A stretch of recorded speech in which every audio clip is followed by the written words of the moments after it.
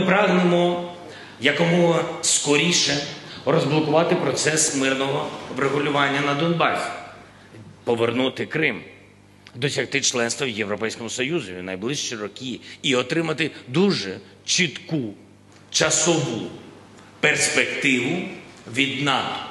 Дуже конкретно. І хочемо її отримати у 2022 році.